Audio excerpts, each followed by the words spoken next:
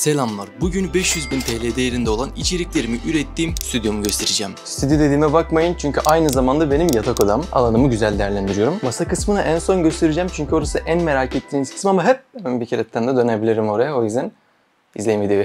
Belki de en sonunda göstermem.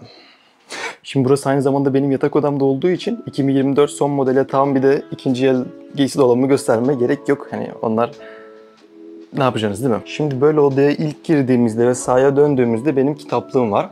Şöyle boydan alacak olursak. Kitaplığın üst kısmında eski kameram bir de lenslerim falan var. Eski kameram bu kameram. Tabii yeni kameram şu an bu videoyu çeken. Bu benim eski ilk kameram.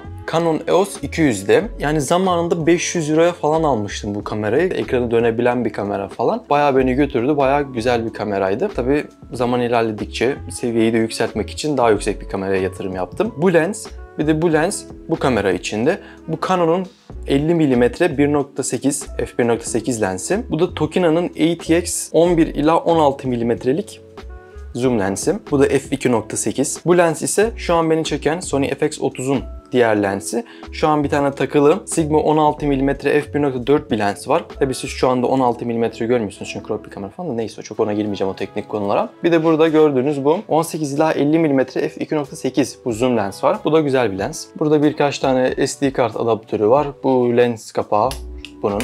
bu batarya. Bu kameranın bu bataryada şu an bu çeken kameranın ikinci bataryası. Yedek batarya gibi düşünebilirsiniz bir şey olursa diye. Burada bir tane shotgun mikrofon var bu kameranın üstüne takılan. Tabii şu an onu kullanmıyorum. Böyle bir tane sunset lambası var. Aldım. Çok kullanmıyorum açıkçası. Yine kullandım bir süre ama şu an çok kullanmıyorum. Burada çok güzel bir tane Ford Mustang Lego var. Daha öncesinde pek Lego yapan birisi değildim ancak bir Lego merak ettim, yapmak istedim ve çok güzel böyle bir Mustang buldum. Bunu aldım. Bayağı da güzel süs oldu açıkçası. Şurada böyle yapay bir bitki var. Bu bitkinin de şöyle bir hikayesi var. Bununla beraber bir tane daha bitki almıştım. Tabii o bitki şu anda burada değil. O bitkiyi de ben yapay diye almıştım. Kargo kutusunu bir açtım. İçinden topraklar fırlayınca dedim ki bu yapay değilmiş. O yüzden şu an o bitki burada değil. Bakamadım.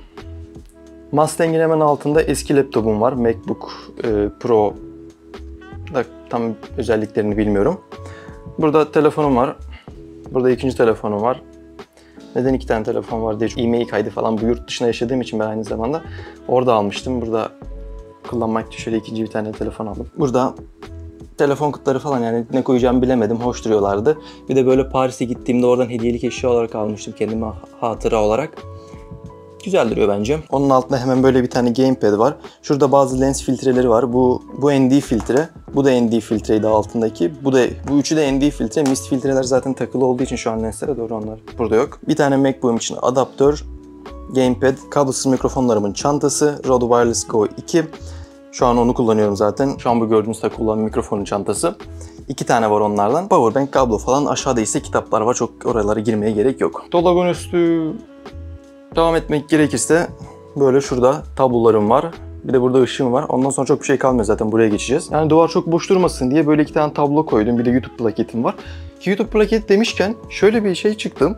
Artık YouTube plaketleri daha küçük boyutta geliyormuş. Yani bundan sonra bir plaket alacak olursanız bundan daha küçük olacak plaketiniz. İyi en azından yetiştirip bir tane almışım.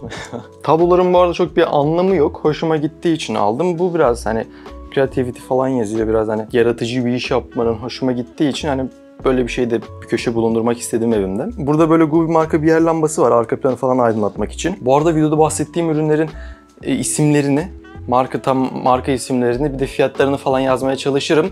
Ancak Gubi marka lambaları genelde çok saranlar oluyor. Gubi Türkiye'ye kargo yapmıyor.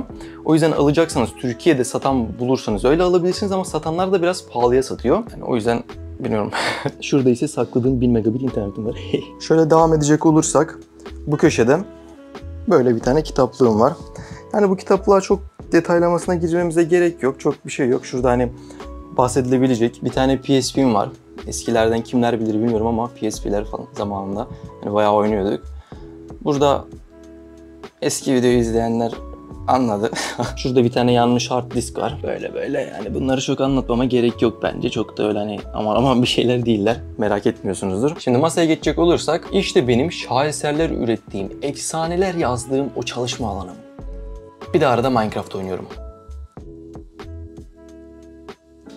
Şimdi bir şey atlamamak için soldan başlayıp sağa doğru gideceğim. En solda tripodlarım var. İki tane tripodum var. Bir tane de şöyle şu tarz bir tripod. Yani bunlar kamera koymak için. Bu da biraz daha farklı yani düz böyle üstüne ışık mışık bir şeyler falan takıyorum. Bu tripod benim asıl ana tripodum. Bunu hepsi buradan almıştım. Ucuzdu bayağı. Ama gerçekten mal olarak da bayağı ucuz. Yani çok sevdim diyemem. Sonra şuradan böyle bir MacBook'um var. Bu benim yeni MacBook'um. Eski olan dediğim gibi şuradaydım. O bazı işlerimi görememeye başladı. Biraz eskidiği için, özellikleri de düşük olduğu için hani video edit kısmında çok işime yarayamıyordu. Biraz zorluyordu, rahatsız ediyordu. O yüzden böyle bir tane yeni MacBook aldım ve gerçekten bayağı rahatlattı. Bayağı güçlü bir MacBook. Bu M2 Pro 32 GB RAM'li olanı. 14 inçti sanırsam. 14, evet 14 inçti. Güzel ben memnunum. Hemen şurada yeni aldığım kulaklıklar var. Sony XM5. Bayağı gürültü engellemesi falan güzel bir mikrofon. İlk kulağıma taktığımda gürültü engellemesi aşırı iyiydi bu arada. Hani bu şey kulaklık. Kimseyle konuşmak istemiyorum. Bana konuşmayın. Onu taktığınızda kendi dünyasınızdasınız gibi. Öyle bir kulaklık. Çok güzel gürültü engelliyor. E tabi bu şey için değil. Hani video oyunları falan oynuyorsanız o tarz şeyler için değil. Çünkü gecikme olacağı için bluetooth bir kulaklık. Kablosunu takarsanız o zaman belki olabilir ama Hani daha çok yani oyun için değil bu. Hemen arkasında böyle devlet sırlarını sakladığım bir defterim var. Hesap bilgilerim falan birçok şey onun içinde. Dijital ortamda tutmadığım bilgileri orada tutuyorum. O defteri kaybedersem sıkıntı olur. Ardından burada mikrofonum var. Bu mikrofonumdan Beacon mikrofon. Çok bilindik bir marka mikrofon değil. Ancak şekli de hoşuma gittiği için ve ses kalitesi de güzel olduğu için aldım. İngiltere'den satılan bir mikrofon. Çok ucuz bir mikrofon değil. O yüzden alacaksanız da hatta gümrük şeyleri falan da değiştiği için artık yani biraz pahalıya mal olabilir size bu. Onun yerine Rode marka mikrofonu yurt içinden almak sizin için daha uygun olacaktır.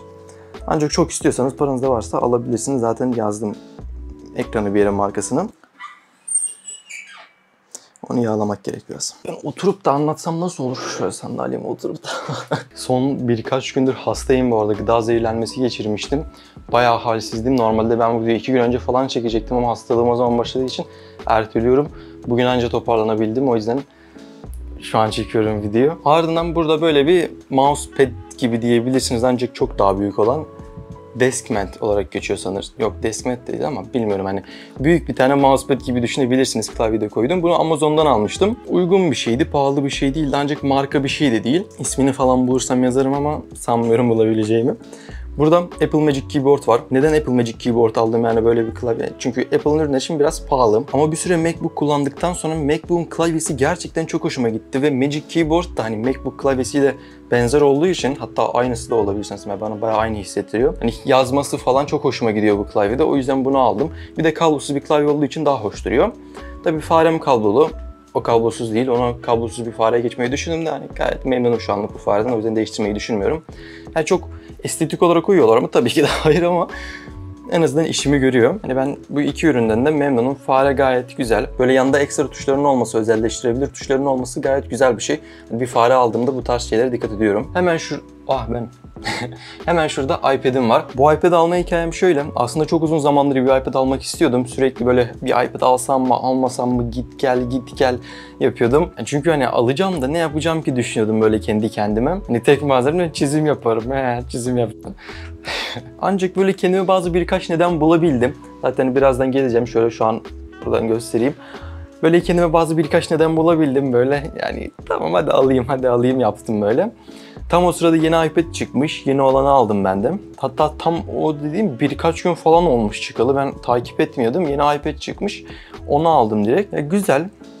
Hani bazen videolarımda da kullanıyorum. Eğitim setimin içerisinde de kullandım böyle tepeden çekme. Hani bu gösterdiğim şey o. Birazdan ona geleceğim. Böyle tepeden çekip çizim yaparak falan da bazı şeyleri anlatıp gösterebiliyorum. Tüketim için de güzel. Her zaman böyle MacBook taşıyıp bir şeyler izlemek yerine böyle büyük ekrandan daha taşıması kolay bir şey olduğu için kolayca bir şeyler izleyebiliyorum. Not almak çizimli not almak için falan da güzel. Onun hemen yanında böyle bir PlayStation Gamepad'im var. Oyun oynarken arkadaşlarla falan bunu kullanıyorum. Güzel Gamepad. Sonra geldik monitörlere. Tabii biraz fazla parlıyor şu an bir dakika. Umarım şu an biraz daha iyidir. Biraz parlaklığı düşürdüm. Şöyle iki tane monitörüm var. Bu ana monitörüm. Bu ikinci monitörüm. Bu hatta monitör bile. Bu televizyon aslında. Bu 144 Hz 24 inç bir monitör. Bu da 21 inç 60 Hz bir televizyon. Kumandası da zaten direkt şurada. Yani bütün işlerimi bu monitörden halledebiliyorum zaten. Bu sadece hani işlerimi yapıyorken hani kolaylık olsun diye bir yan monitör olarak kullanıyorum. Estetik olarak çok güzel durmadıklarının farkındayım ama hani işimi kolaylaştırıyor mu? Kolaylaştırıyor. Hani bir şey yapıyorken yana atabiliyorum veya hani bir video editliyorum. Yandan notlara bakmam gerek ya da yaptığım araştırmaya bakmam gerek ya da herhangi bir şeye bakmam gerekiyorsa hani aynı anda alta alıp sürekli değiştir yapmam gerekmiyor. Bir oraya bakıyorum, bir buraya bakıp direkt halledebiliyorum. Gayet de güzel oluyor bence. Şurada böyle güneş gibi parlayan Elgato bir ışığım var. Bu benim ana ışığım. Çoğu videomda kullandığım ışık bu. Şöyle çaprazdan çekmem gerekirse ucunda böyle bir grid takılı olduğunu görebilirsiniz. Normalde Elgato böyle bir grid satmıyor ne ürünle geliyor ne de kendi harici olarak satıyor. Benim buna bulduğum çözüm şöyle oldu. Tam Elgato'nun bu ışığının boyutlarında olan Nanlite markasının bir ışığı varmış. O kendisi grid üretiyor. Onun gridine aldım ve boyutları da uyduğu için direkt taktım. Tabi böyle gergin durması için arkaya band falan yapıştırdığım oldu. Şu an yapışık değil tabi. Ancak gayet de güzel işimi görüyor. Burada şöyle Gelato'dan bir tablom var. Gelato'dan almıştım bu tabloyu. Güzel bir tablo Michelangelo'nun. Hemen yanında Windows bilgisayarım var görebileceğiniz gibi. Yani bayağıdır kullandığım bir bilgisayar bu. Kaç yıl oldu bilmiyorum ama bayağı güzel bir bilgisayar olduğu için işimi görüyor. Şöyle i5 12400F bir işlemcisi var.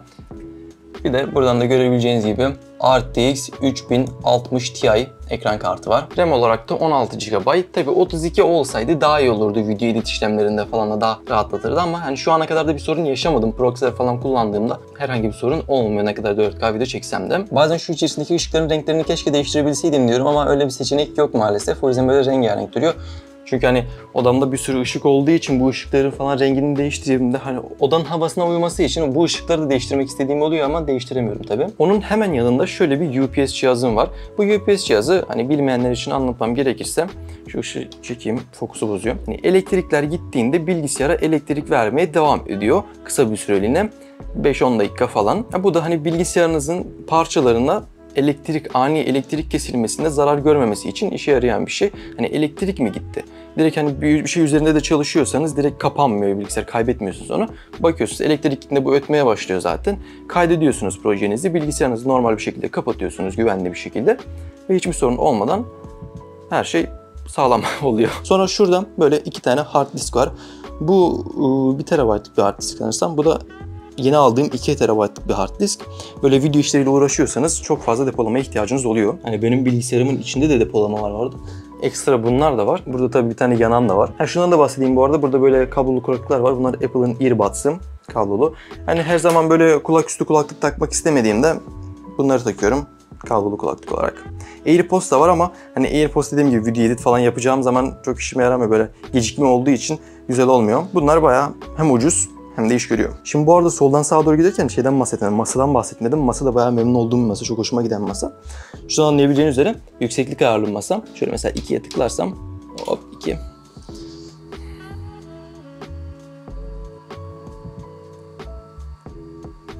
Masa böyle yükseliyor ve oturmaya ihtiyaç durmadan böyle çalışabiliyorum. Bu da güzel bir şey çünkü hani işim gereği benim gibi yani içerik üreticilerin de işleri gereği olsun. Biz çok fazla oturarak zaman geçiyoruz bilgisayar başında bir iş yaptığımız için ve bu kadar saat oturmak da iyi olmuyor insan vücudu için. O yüzden bazen böyle ayağa kalkıp ayakta da çalışıyorum. Tabi sadece bu da yetmez yani ben bunu başka videolarımda da söyledim. Sadece ayağa kalkıp çalışmak da yani kurtarmaz. O yüzden hani yürüyüş de yapın, sporunuza da gidin. Ama ne kadar da olsa işimiz gereği uzun saatleri masa başında geçiriyoruz. Kablolara çok takılmayın. Yurt dışındaydım dediğim gibi. Bir haftalığına şu an Türkiye'ye geldim. O yüzden kablolara hiç dokunmadım. Baya hani buradaki ışıklar vesaire olsun, bazı kablolar olsun.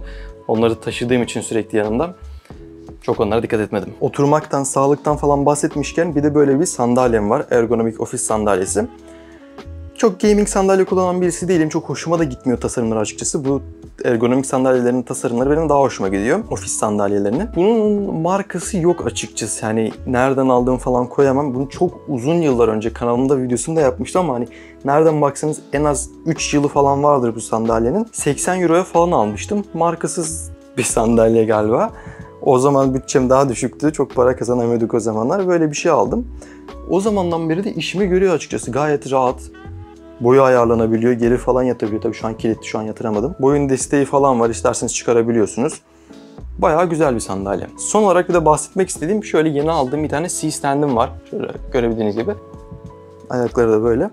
Şurada ağırlık kısmı var. Bu ağırlık kısmı şu ucuna bir şey taktığınızda hani fizik kuralları gereği yani buraya taktığınızda bu aşağı düşmesin diye oraya ekstra bir ağırlık koyuyorsunuz ki dengelensin diye. Bunu da alma nedenim hani arada şöyle şuraya yukarı kamera takıyorum. Bu kamerayı yukarı taktığımda şöyle yukarıdan aşağı videolar çekebiliyorum. Bir şey anlatacaksam o videoyu böyle çekebiliyorum. Hani bu da bayağı hoşuma giden bir şey böyle hani videoya güzel bir hava katıyor. Yani anlatacağınız şeyi öyle yukarıdan çıkıp göstermek falan. İşim bu zaten hoşuma giden bir şey olduğu için ona da yatırım yapmak istedim. Ben Smolrik markasını sistemden aldım. Nereden aldım hatırlamıyorum ama fiyatını da hatırlamıyorum. Not almıştım veya bulurum, yazarım. Bu videodaki hiçbir şey reklam değil bu arada. Birçok marka falan göstermem hiçbir şey reklam değil bu videoda. Bunun içine koyduğum ağırlıklarını hiç bilmiyorum açıkçası. Parfüm kutusu var galiba. Burada ağırlıklı bir şey var. Kitap kitap falan böyle. Hani ağırlık yapacak ne varsa koydum. İşte onu dengelesin diye. Sonra burada şöyle bir Guvi marka masa lambam var. Bu ışığı ayarlanabilir. istediğim rengi falan verebiliyorum. Hatta efektli falan da olabilir. Atıyorum mum yanıyormuş gibi, ateş yanıyormuş gibi, yağmur yağıyormuş gibi bir sürü animasyonu falan da var. Uygulamasından yapabiliyorum.